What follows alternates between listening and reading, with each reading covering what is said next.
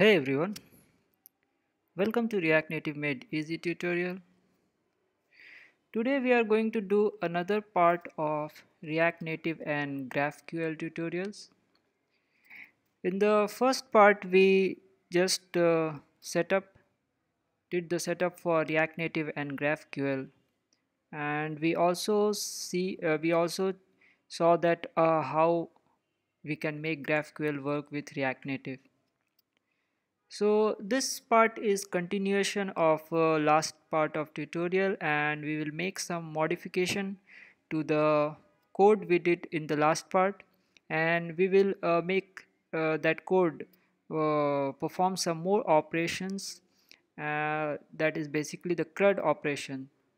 So in last part we just uh, displayed the working of GraphQL with React Native a simple working but in this part we will do the complete CRUD operations. That it that is we will create uh, create uh, records.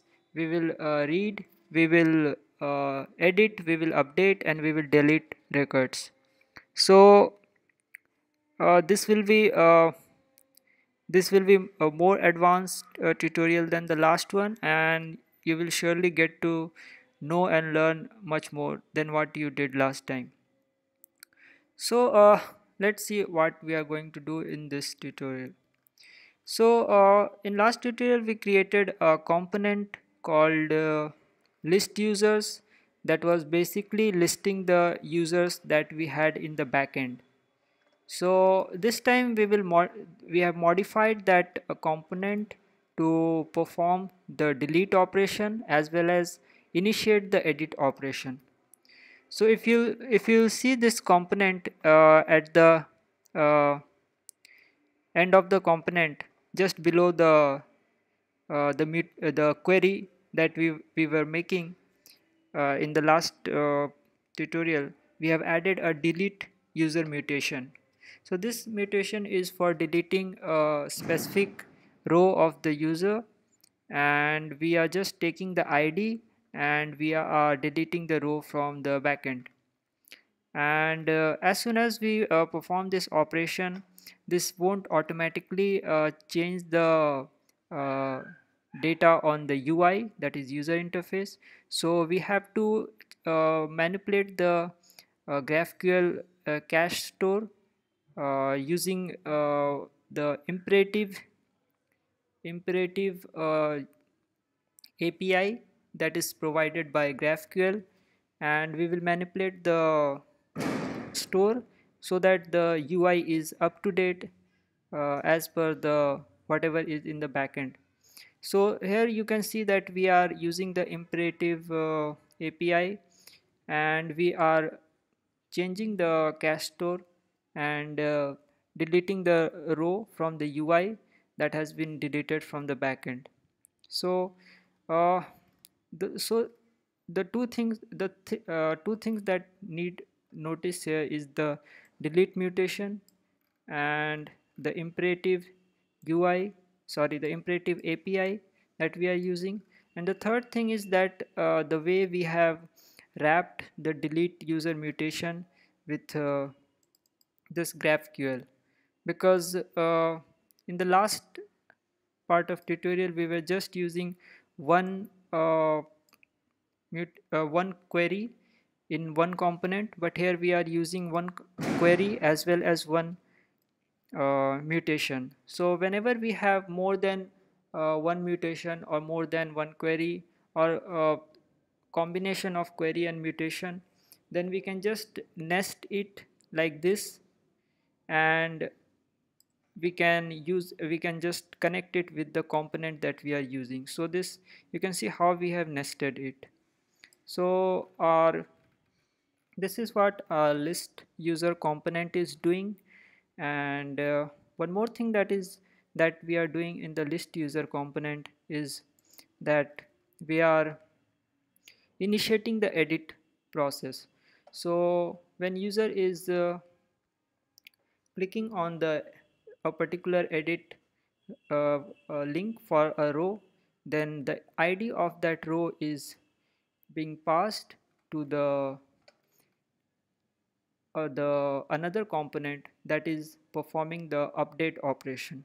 So we will see uh, how we are doing that. So we uh, in this component we are just initiating that process and uh,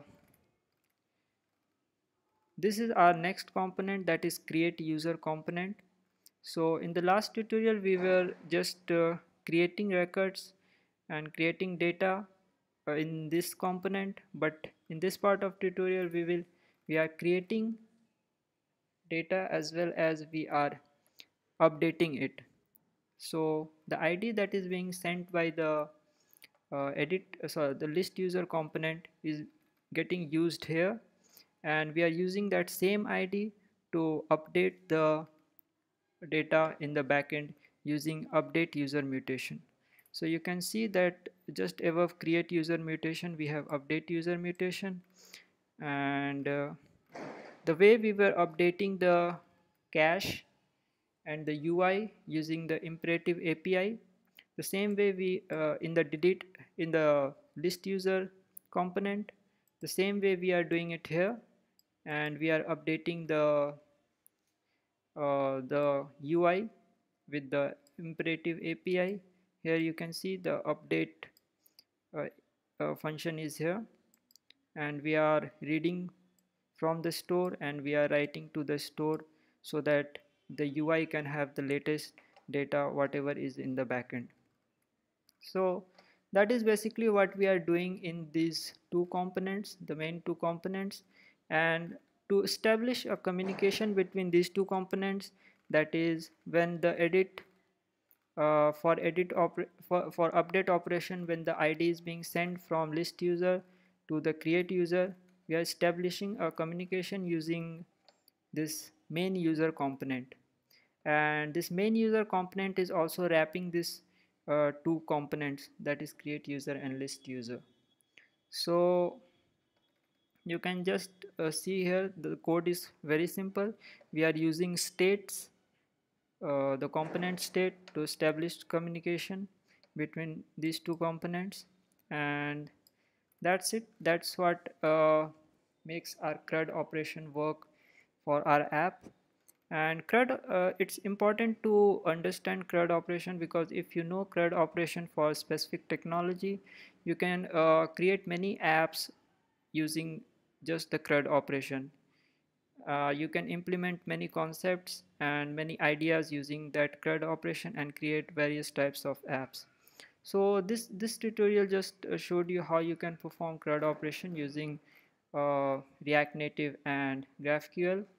And let's go ahead and see how this app is working. So here we have this app. I'm using the same exact code that I have on my website here create user list user and main user. So that's it. So let's go ahead and see things in action. So I will first I will create we have three uh, names here. I will add one more name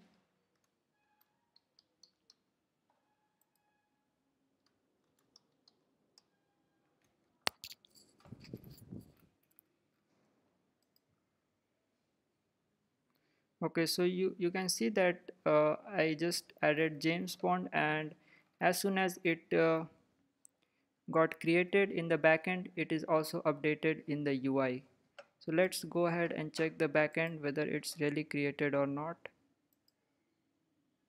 Okay so you can see here we have James Bond and it has been successfully created in the backend. Now let's go ahead and uh, change make modification to this row. So I created edit and this changed into confirm edit. So let's confirm edit. Okay now the this name is in the text box and now we can modify it. So I will make it jbond and let's go ahead and tap update user. Okay so you can see as soon as the update user was tapped uh, this the U, the data on the UI as well changed. This is happening because of the imperative UI that I showed you the update function that we are using. So we are manually manipulating the cache store of GraphQL. This is really advanced feature provided by GraphQL and this allows us to uh, perform really good operations like uh, changing the UI to make the user aware of what is happening in the app the data that is getting changed. So now let's go ahead and perform the delete operation. Okay so the name was deleted. Let's go ahead and update. Check if it was deleted in the backend as well. Okay so you can see the James bond or Java bond was deleted from the backend so our CRUD operation is working uh, great and uh, it is working successfully. So that's it for this tutorial guys and I'm sure you will find this informative and very useful for creating your apps. Uh, make sure you subscribe to our channel and subscribe to our newsletter for such informative and uh, helpful videos. And we keep posting on the latest technologies related to React Native. And uh, so if you have any doubts or if you find any issues with this uh, tutorial make sure you uh, uh, you can just ask it in the comments on this on our website or you can even ask it on our youtube channel. And we will promptly respond to you and thank you guys so much for watching this video and checking this uh, tutorial. And have a nice day. Love you all